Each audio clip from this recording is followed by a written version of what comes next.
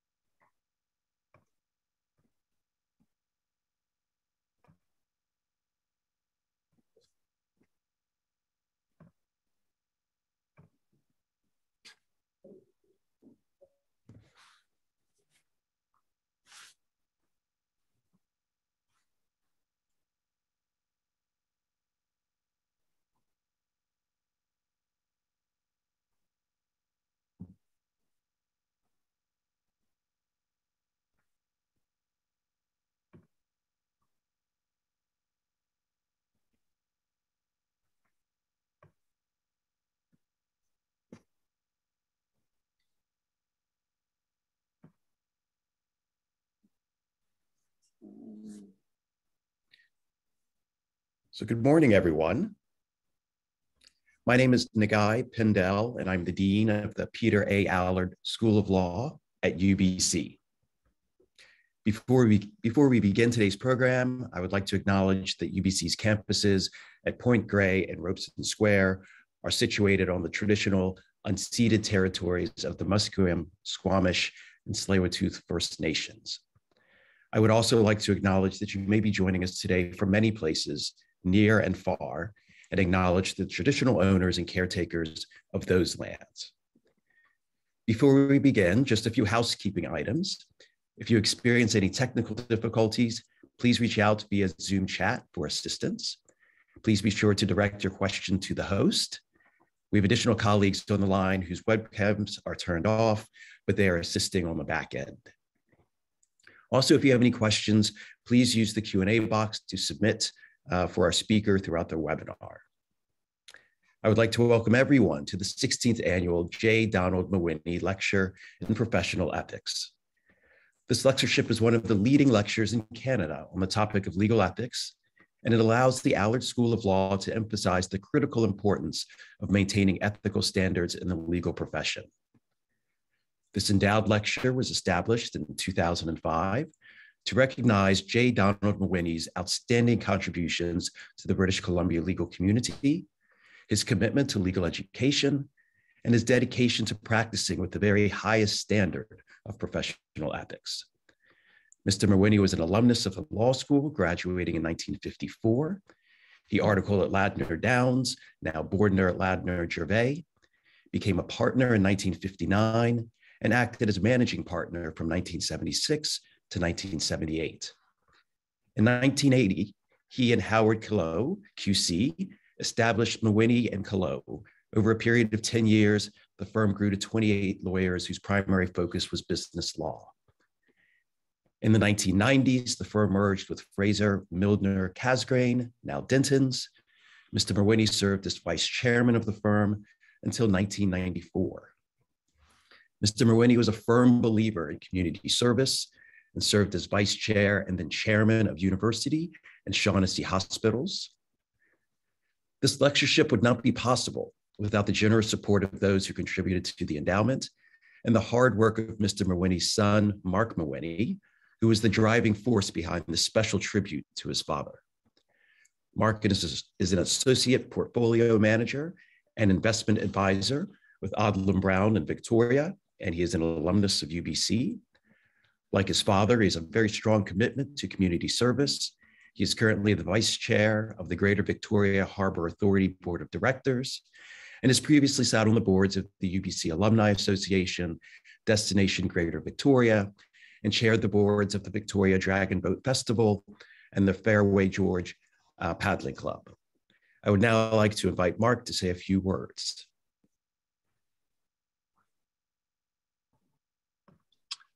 Thanks very much, uh, Dean Pindell. It's a pleasure for me to um, participate each year uh, by making a few introductory remarks. Um, I'm doing so today from my car in Nanaimo as I'm up here visiting with some clients, which is a neat development in how we're living our lives through technology now, isn't it? Uh, this this lecture series um, really began with uh, a boy, me, um, wanting to uh, do something for his dad um, that would show my appreciation for his guidance and his mentorship uh, and his friendship. And uh, way back in in 2002, 2003, uh, I had reached out to um, the then Dean Bobinski and uh, thought that it might be nice to raise some money in his name um, uh, for the Faculty of Law, which he held near and dear to his heart. As you pointed out, Dean, um, he loved the law. Uh, he loved the profession of law.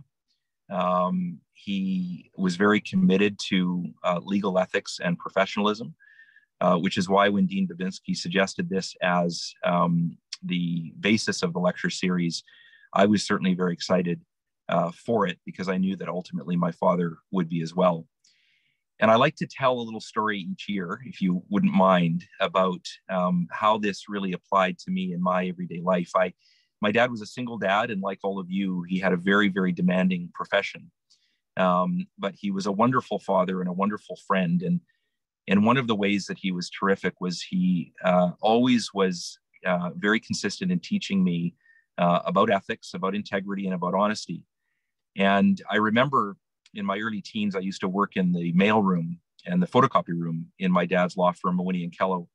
And uh, uh, I guess I was 16. I was driving myself to work, which is what a 16 year old of an independent spirit wants to do.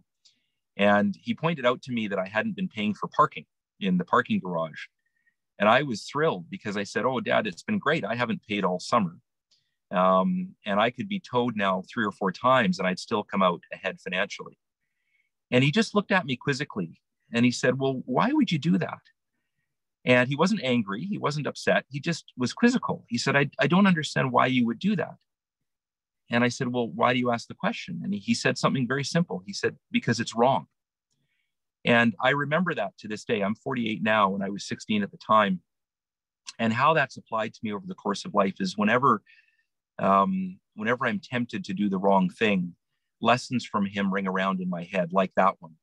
And I think that more often than not, I end up making the right choice because of those many lessons. And I know, um, having come to know a lot of the acolytes that my dad helped train over the course of time, many of whom have gone on to great professional success, he had a similar impact on the profession uh, through his mentorship and guidance of young lawyers as they came up in the profession. And I think that and these aren't my words, I've heard, certainly heard it from others, the profession is better as a result of that.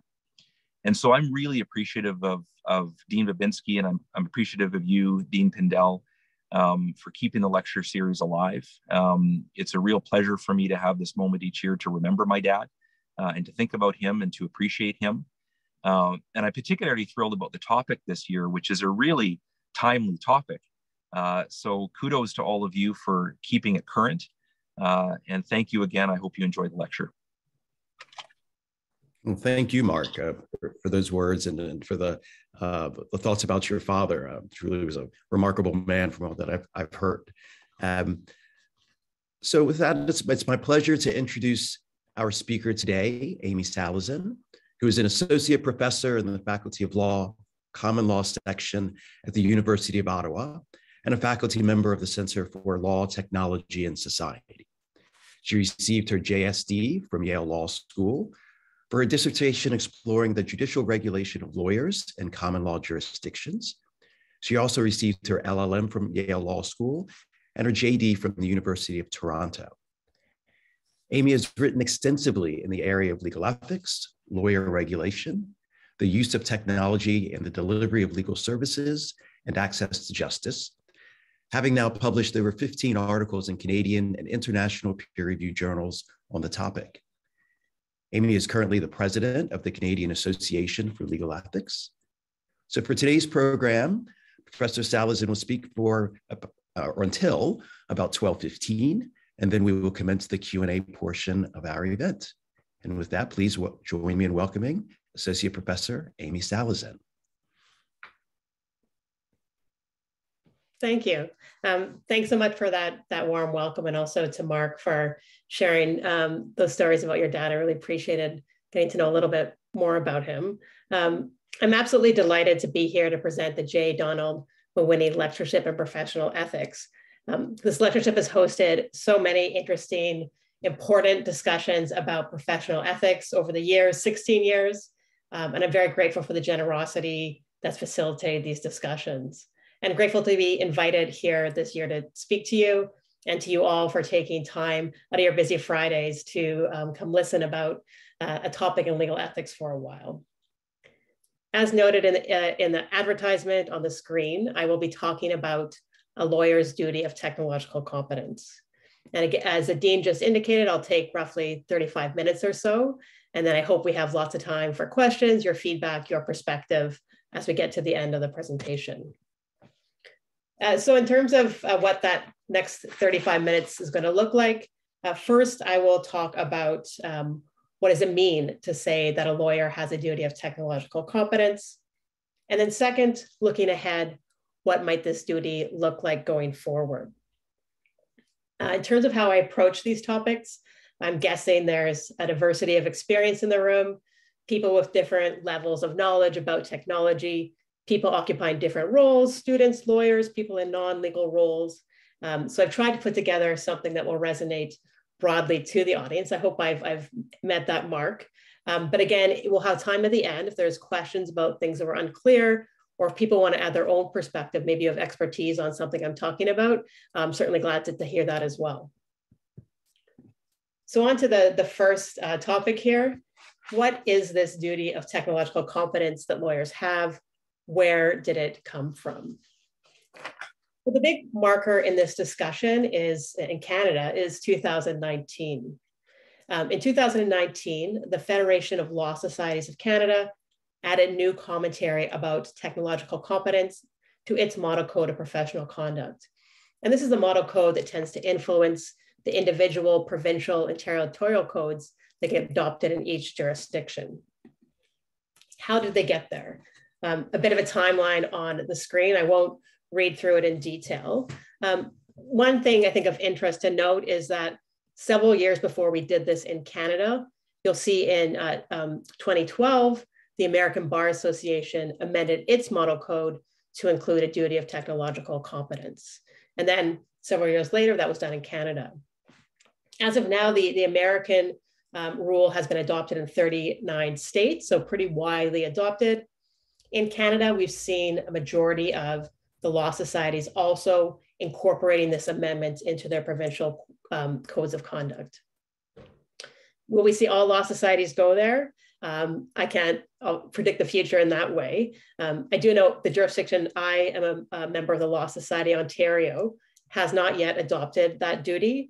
Uh, British British Columbia has not yet either. Um, and we'll just have to wait to see what happens in those jurisdictions. Um, but I would note that most places have adopted it since it came into the Federation Code in 2019. Um, to situate ourselves, what was actually adopted? Um, first thing to note is we have this general duty as lawyers, of course, to be competent. When I teach this to my students, I always make a bit of a joke about the, the rule you see on the screen there, which basically says in order to be a competent lawyer, you must be competent. Um, that rule itself doesn't provide much information. But we do see if you look at the rules, or if you have looked at the rules before, you'll know underneath this section, there's a bunch of subsections, commentary that really try and provide more guidance to lawyers about what it means to be competent when you're delivering legal services. And, that, and that's where you'll, you'll find this new commentary. It's within kind of that explanatory part of the rule. Um, this is a new commentary. I won't read it out to you. And certainly uh, a PowerPoint design person would say it's too much text for the slide, but I wanted to give you the whole rule. Um, what I'd highlight here is that you'll see that uh, within this commentary, it does say that lawyers need to use relevant technology. they need to understand benefits and risks associated with such technology. Um, but it's also understood, particularly when you go to that 4B part, that this duty is dependent on what technology is reasonably available to the lawyer. And that commentary says that's going to depend on the firm's practice area, geographically where you're located, uh, what your clients need. So that's on the screen there, the new duty of technological competence that you may have heard of and that animates this presentation. Um, I've just said this is a new duty, um, but one thing to also note, and I'll speak about this in the next few slides, is there's a lot of ways in which the, this new duty has already had predecessors in existing rules and existing recognitions from judges and elsewhere. So in some ways we can question, is this really a new duty, so to speak? One thing to note is that within long-standing existing professional conduct rules, there's a way in which you can see an implied duty of technological competence. Here's just a few examples on the screen there. Um, lawyers do have a duty to provide efficient legal services. And so you can think, if a lawyer doesn't use a particular technology because they're uncomfortable with it, they're unfamiliar with it, and as a result provides inefficient legal services, well, they're perhaps violating this duty. If a lawyer, for example, doesn't want to use computerized databases, doesn't want to look up case law in CanLII, uh, only exclusively uses print reporters, they take 10, 20, 30 extra hours to do their legal research, is that really consistent with the duty to provide efficient legal services? And then moving to the second bullet point, if you then translate that into a bill for the client, is that really consistent with a duty of charging fair and reasonable fees? So even more specifically to the idea of technology, that third bullet point, it's always been recognized that this duty of competence, the general duty, evolves. That includes adapting to changing professional standards, techniques, and practices. And we can think now the several ways in which using technology is mandatory, uh, ways in which you need to use it and use it well to be competent. Some courts may now mandate electronic filing. In real estate practices, you may it may be necessary to electronically register property. Um, more and more, you may need to attend court or tribunals virtually. All these things implicate a, duty, a lawyer's duty of competence, even if we don't have that additional commentary added on. And then on the last bullet point, we can think of the various technology-based risks to client information. That includes risks related to malicious actors, but also risks related to inadvertent disclosures. So does a lawyer know what metadata is and how not to accidentally send it to an opposing party? Do they know what precautions they need to take when they're crossing a border with a digital, digital device like a cell phone? All these things implicate that longstanding duty to protect client confidential information. So those are just a few examples. I could give more, but the point really here is that within long-standing existing rules, you can already see why technological competence is important for lawyers meeting their professional obligations. Another thing I'd like to, to point out is that it isn't uh, just law societies talking about this. Judges too are recognizing a duty of technological competence more and more. And you'll see the quote from Justice Myers on the screen there in a recent case stating, with the current pace of change, everyone has to keep learning technology. Counsel and the court alike have a duty of technological competence. So judges too are recognizing this. That's a recent case. We can go backwards in jurisprudence and find more judges talking about this in different contexts. Here's a case from uh, 2010 from an Alberta court, and uh, where you have the judge noting, among other things, that the practice of law has evolved to a point where computerized research is no longer a matter of choice. So in other words, the judge is recognizing using a particular type of technology for a particular type of lawyering task, in this case, legal research, was a basic part of lawyer uh, competence. So looping back to that question, is this a new duty of technological competence? In some senses, no. Even if you are in a jurisdiction who hasn't, that hasn't adopted this commentary, even prior to this commentary, I would argue there's a strong case that lawyers have a duty of technological competence. So in some ways, there's, uh, there's not necessarily newness about this. Um, on the other hand, I do think there, there's something new about explicitly recognizing in commentary that lawyers do have a duty of technological competence. Um, it's an important signal, I think, and I think it also underscores the importance of this duty. The fact that the majority of Canadian law societies are recognizing this is something we need to include within our ethics guidance to lawyers, or ethics rules. Um, so when, when lawyers hear, and I think there are, there are a few lawyers in the audience, when, when lawyers hear about a duty of technological competence, one that's being more explicitly recognized, one that may be part of their new professional conduct rules, they often want to know, understandably, what does this mean on a practical level? They want to know what am I required to do, or perhaps also conversely, what should I not be doing? Uh, they want to know what does this all mean? Uh, sometimes underlying these questions is some anxiety. Some people ask, um, are we all going to have to become coders now or tech experts? Some lawyers note that these aren't skills they have, um, and perhaps skills that they're not planning on learning. They didn't. They'll say they didn't go to law school to become computer programmers. They went to law school to be lawyers.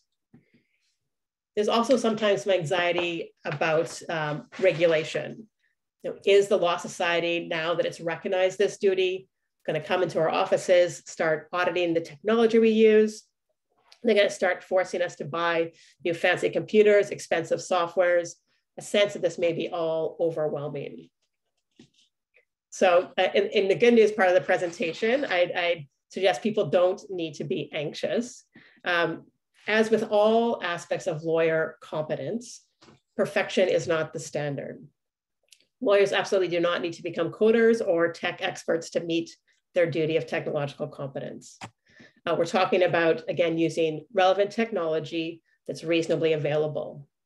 Lawyers don't need to buy the most complicated, most expensive equipment or software to meet this duty. Um, it's going to be very context specific depending on what you're practicing and where you're practicing. And again, it, as I indicated earlier, I think it involves a sense of proportionality. So what's reasonable for a lawyer to be doing is going to depend on where they practice, what their clients need, um, and what area of practice they're in. So all that to say, I'd, I'd encourage lawyers not to be overwhelmed by this duty. Um, at the same time, I'd encourage them not to be dismissive either. Um, there's real benefits to using technology and using it well. Um, it can make a lawyer's life easier, it can result in better services to a client. Uh, so why not embrace uh, learning more? Why not uh, try to engage with best practices? Um, in terms of that question, what are some potential best practices? I don't have time uh, today to go into a lot of detail. And again, I've said context many times already today. It's, it's really going to depend on the context in which the lawyer is practicing on the area of best practices, I would say I think this is something that law societies could be doing more uh, of in terms of providing guidance to lawyers. Um, I've heard lawyers say they wish law societies were providing a bit more guidance. One, one good place to look right now, I think, is in CPD programming. There are you know, an increasing array of conferences, events, panels um, that are doing a good job providing education in this area. So I invite you to, check those opportunities out uh, when you see them. Uh, another piece of best practice guidance I direct you towards is this document entitled Legal Ethics in a Digital Context. It's something that a colleague and I developed um, last year or so um, for the Canadian Bar Association. It's about a 50 page document, very comprehensive, very practical, has things like checklists, um, further resources. It talks about things like due diligence in choosing technology, how to appropriately safeguard and manage your digital data, working remotely, how to ethically market your services online. And this is free, it's not paywall, it's free to anyone um, on the CBA website. You can Google that title, uh, the link's there as well on the screen. Um, okay, so now to part two. Um, so, so far I've outlined where this idea of a lawyer's duty of technological competence has come from. I've outlined pretty quickly and pretty basically some of its basic parameters. Um, and so now I want to look forward. What is this duty going to require going forward? What are the emerging issues? How can we think more expansively about this concept? Um, and just to situate the future, uh, so to speak, I have a few quotes on this uh, slide here. Um, the first one's from Daniel Katz, and you'll see he says, with each doubling of processor speed, halving of data storage costs, and major advances in machine learning, the possibility frontiers opening up and doing so at a drastically non-linear rate. And the point here is really that there's a technical acceleration with this stuff. Change is not going to be happening at the same pace as it was happening 20 years ago or even a couple of years ago. And you'll see it towards the bottom of the screen a second quotation from the Attorney General of Ontario roughly two years ago, where he was indicating how COVID was the catalyst that allowed the, the legal profession to move forward on court modernization, uh, move forward on court modernization 25 years and 25 days. Um, and I added that quote too, because we have, you know, first that technical acceleration, but layered on top of it, we also have a policy or political acceleration happening too, uh, more willingness to adopt technology in courts and the justice system. And I think you know this environment together really does open up uh, the horizons of what lawyer technological competence will mean going forward. In terms of how I, I think about what it might mean going forward, um, this is something I've, I've been thinking about for a while. Um, I've come up with what I call a 7A taxonomy of lawyer technological competence. Uh, and indicating in that taxonomy, the modern lawyers need to be automated, alert to emerging technological risks, operate as avatars, so competently deliver services digitally, be data analysts, use AI to augment their legal practices, be acquainted with emerging AI technologies, and be attentive to how AI is being used in the justice system. And in the time that remains, I'll go through each of these seven A's. Um, and the, the idea here is really just to highlight some emerging topics, give a sense of what the future might hold, and some of the important aspects of lawyer competency as we move forward. Uh, so the first A, automation. Um, in some ways, this is you know one of the less futuristic parts of the taxonomy, really referring to tools that use automation to assist things like client intake. So for example, you have a tool where the client puts their information once, that, uh, that bio, like biographical information, and then the tool populates various aspects of your system automated forms. These are things that many, many lawyers are using already. Uh, I do think, you know, the use of more automation is likely going to be increasingly considered part of basic competent practice, part of what it means to provide efficient and quality legal services. Looking a bit ahead on the automation front, I thought I might um, highlight a, a, couple of emerging automation tools for you. Um, one uh, newer, more advanced type of tool, uh, a document automation tool. It's now available as, as something called a case brief generator. And a few companies are offering this now, commercially available for what I've, from what I've seen, um, only in the United States so far. Um, an example of one of these tools you can see on the screen here, it's called Compose. Um, and what this tool suggests that it does is it prepares a first draft of your written arguments for a motion. The way it works, uh, again, according to the tool, is that you select the particular type of motion you're doing from a set list of motions. And then it'll have a series of different types of potentially relevant arguments uh, that are applicable in your jurisdiction. You click and add those to your draft.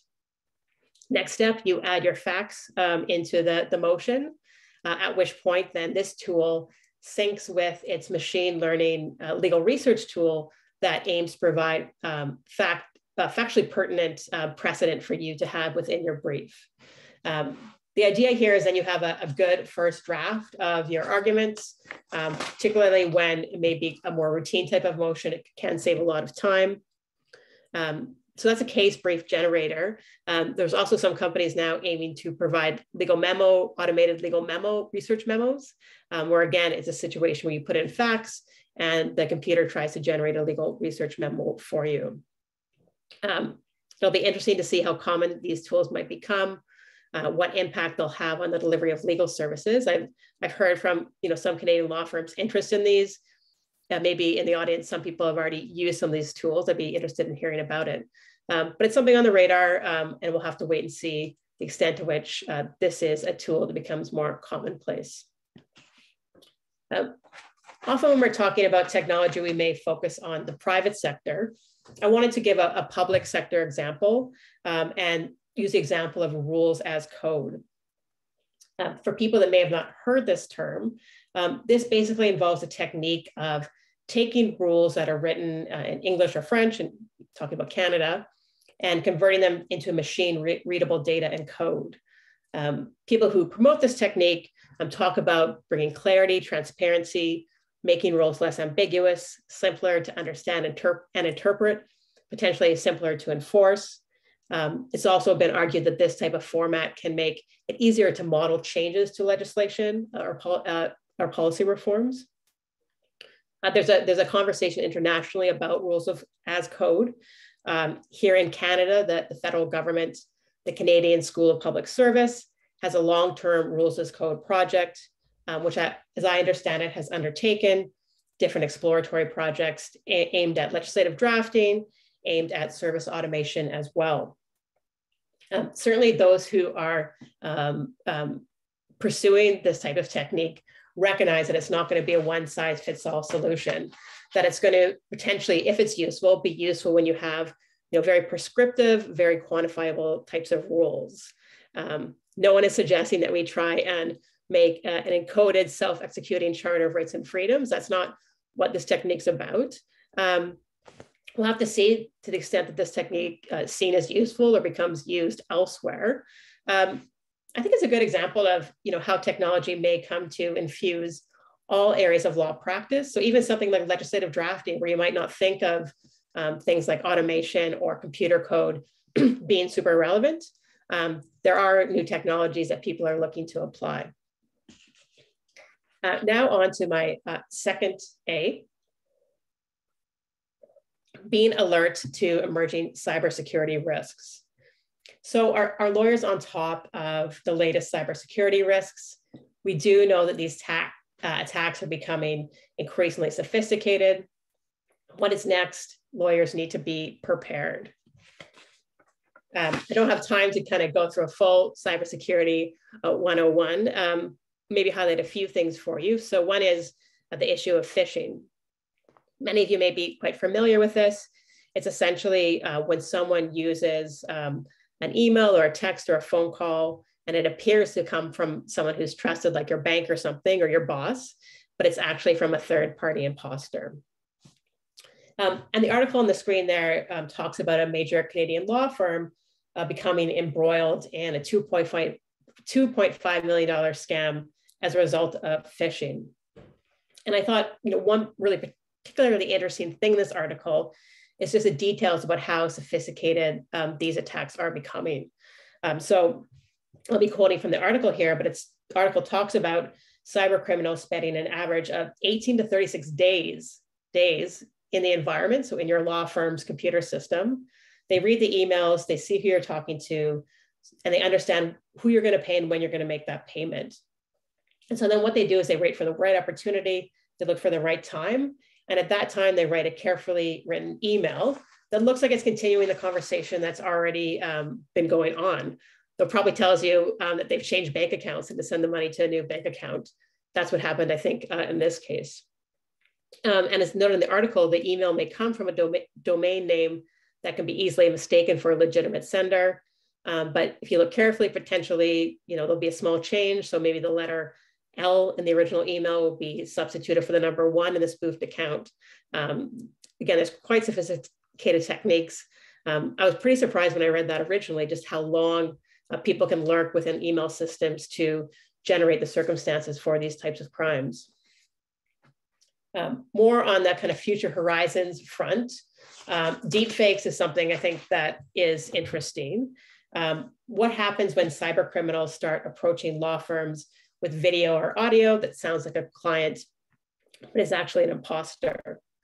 And you'll see on the screen here, a relatively recent news story out of the United States that involved a Philadelphia lawyer who almost wired $9,000 uh, to a criminal who was impersonating his son's voice. Um, there's certainly concerns and understandable concerns about what might happen if deepfakes start to be used in courtrooms. This is not, I, I haven't heard at all this being a regular issue yet, Um, there is one reported case that I've, I've heard about involving a child custody matter in the UK, uh, where apparently one party used widely available software to doctor the voice of their spouse to make it sound like they had a recording of them making threats. Um, so I, I, don't think we need to be, um, you know, super worried about deep fake court evidence now. Um, is this an issue that lawyers may have to be worrying about in the near or medium term? Possibly. Um, I say, you know, already now, this is something where lawyers should have a basic awareness, even if it's not something happening regularly. The technology is out there.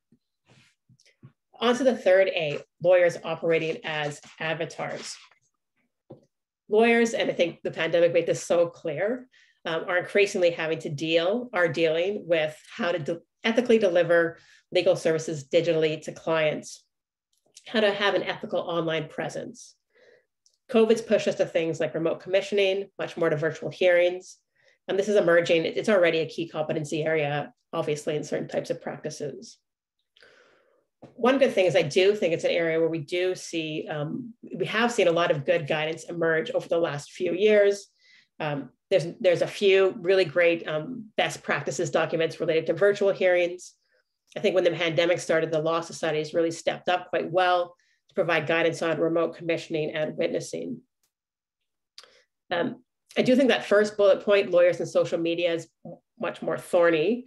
Um, we're increasingly seeing lawyers active on various platforms.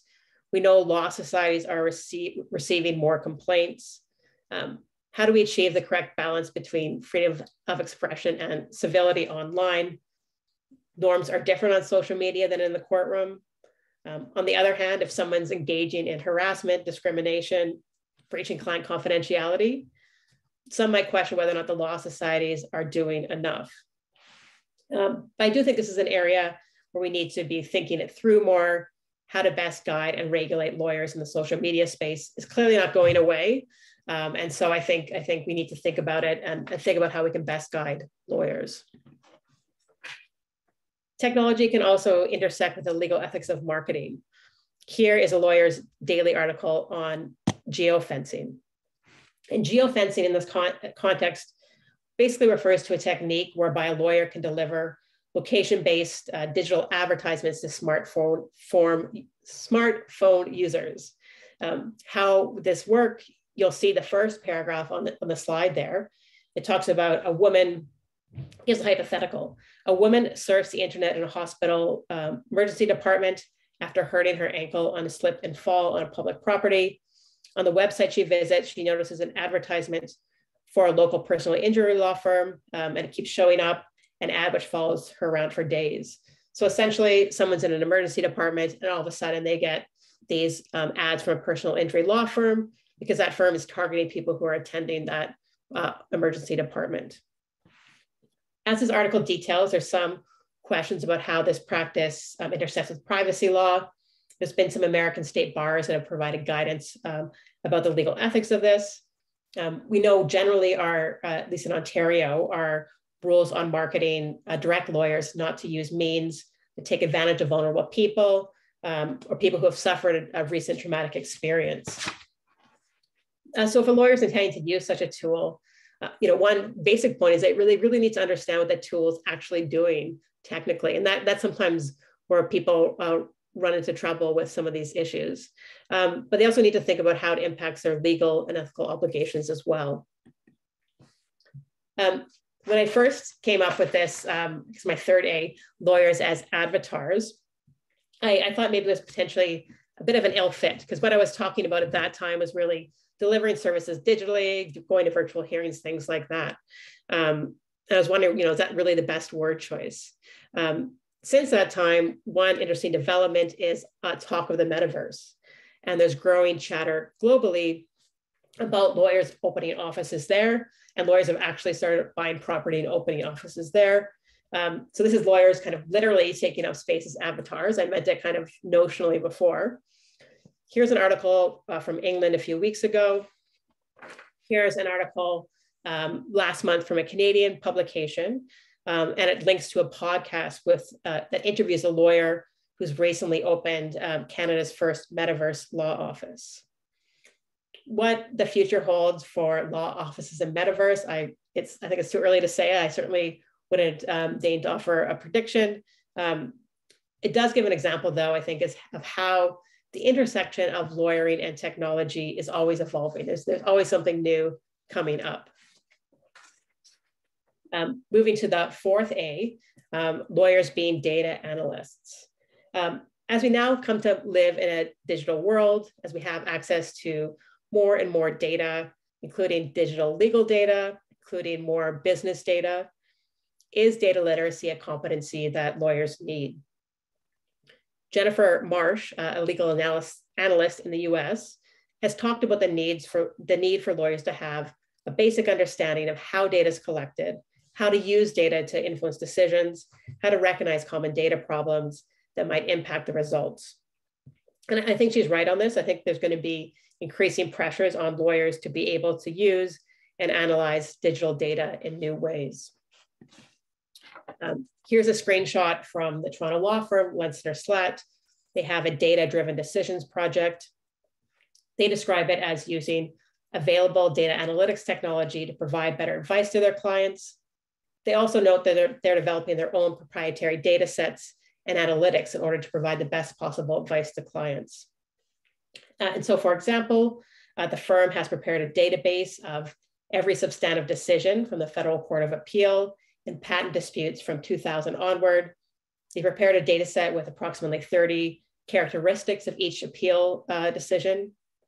And the firm says that they see this database as assisting it in providing clients with benchmarks for things like the likelihood of success in a case, um, timelines for resolution, things like that. And, and law schools are increasingly starting to offer legal data science courses as well. Here's an announcement from our faculty. Um, I know it's being done elsewhere as well. Perhaps if you teach at a law school, at your law school too. What about lawyers using AI in their work? Um, depending on how one defines AI, um, we're not really seeing you know, regular profound uses in legal yet. Um, we certainly aren't at risk of being replaced by robot lawyers. Um, but it's reasonable to predict that lawyer uh, AI will change lawyering in some notable ways. Already AI use has been characterized as modest but increasing. I think that's fair. Um, there's some tools already being used fairly regularly, predictive coding that uses algorithms to help with e-discovery, so technology assisted review or computer assisted review, um, AI empowered legal research tools, AI empowered contract analytics tools that can take large batches of contracts, identify areas of risk, identify pertinent clauses. Um, so that is a tool that can really cut down on the time needed uh, when you're doing something like due diligence, for example. Uh, legal analytics is a, of a particular interest to me. These are tools that use big data sets and machine learning to draw insights about cases um, or to draw insights about stakeholders involved in these cases, essentially tracking patterns. Um, you'll see some examples of functionality on the screen uh, here. Most of the tools, um, you know, um, on a, on a quantitative, quantified basis are American, um, but we are seeing tools in Canada as well. Here's an example, and you may have seen that LexisNexis has now launched its judicial analytics tool in Canada. It's called Context. And it's marketed as using an language analytics to help litigators craft arguments using the words in case law that a judge has historically shown pre uh, preference for. Uh, on to the second last A now, I should be wrapping up within the next five minutes or so. Um, the need to be acquainted with uh, emerging AI technologies And here, I mean to step away from the question of what lawyers are using themselves and towards a question of understanding how AI might otherwise arise in their practice. Is it technology that's being used by their client? Is it technology that's being used to present um, or produce evidence in court? For example, something like facial recognition software. Um, not only will lawyers need to have baseline technical knowledge, they'll need some familiarity with some of the basic terms, um, they'll also need to know where to turn, uh, how and when to bring in necessary expert assistance. Uh, the, the, the point here is simple that as these technologies become into broader use within society, they're going to be popping up in the legal context more often. and lawyers are going to be forced to engage. And that's going to require some level of competency. It doesn't mean the lawyers need to understand in a very detailed technical way what these tools do, but again, there'll be a need to understand basic concepts, issue spot, things like that. The last A, the need to be attentive. Um, lawyers have an ethical duty to try and improve the administration of justice, which includes a basic commitment to the concept of equal justice for all within an open, ordered, and impartial system. So what, what are lawyers' obligations in relation to AI? Not when they're using it, not when their clients are using it, but when it's actually potentially embedded within the justice system, embedded with the administrative um, system as well. And here I'd argue that being aware of the risks and potential benefits of using AI is going to be part of the legal profession's obligations as caretakers of the fair and equal administ administration of justice in Canada.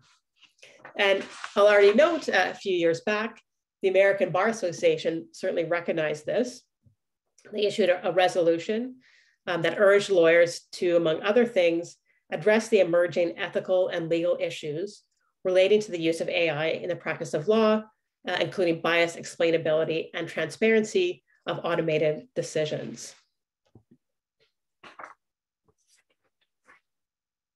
And so I just talked about automated decisions. This concept, automated decision making, is one that's um, pretty um, prominent. And when people talk about uses of advanced technology in legal systems, um, some people may have heard that term. Some people may be um, produce scholarship on, on that term and may be very familiar.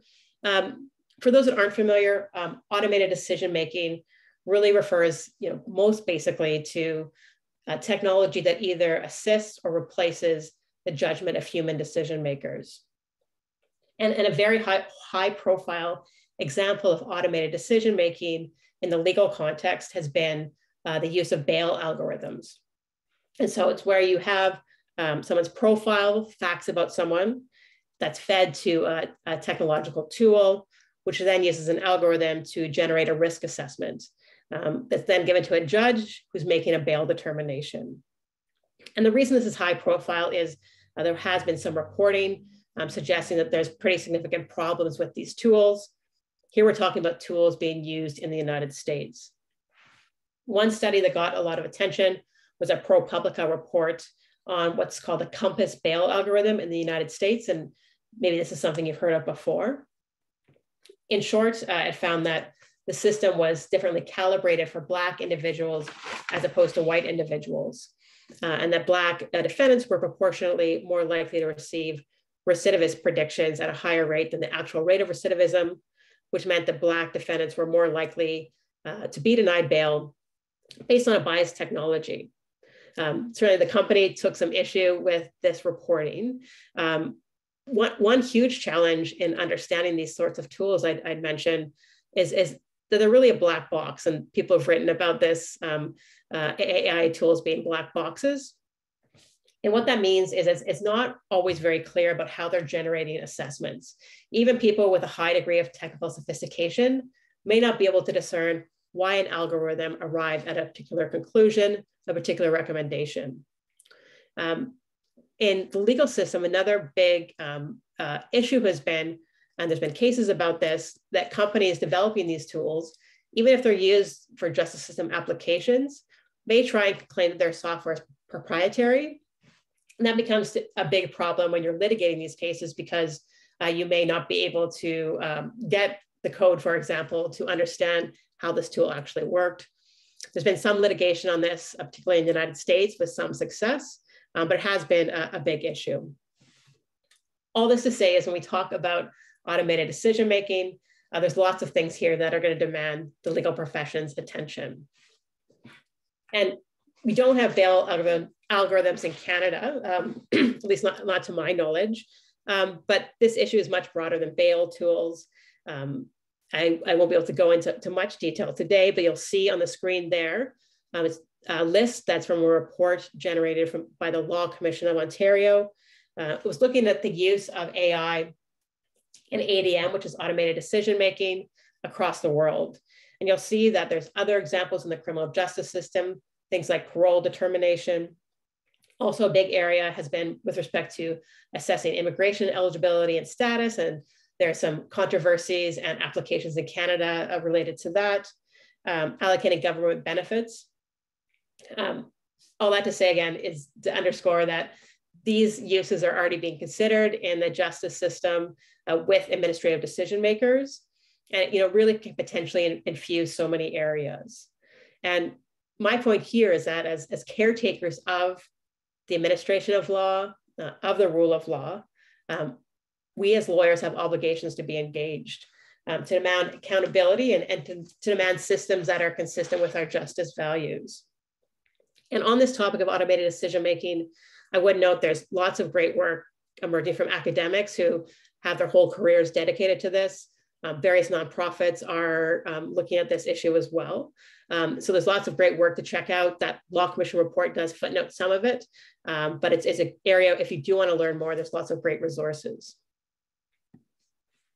With that, I am at the end. I think I've, I've pretty come pretty close to wearing out my welcome for my time. Um, in terms of final thoughts, I guess I would just say um, an obligation of lawyer uh, technological competence is here.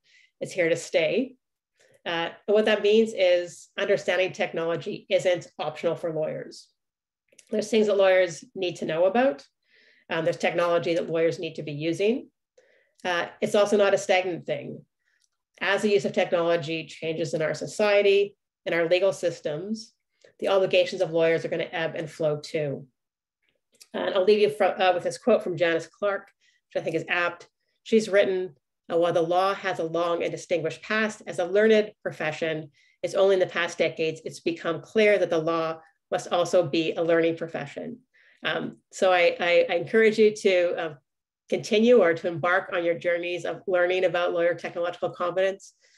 Once again, I'm very grateful for the time to speak to you today.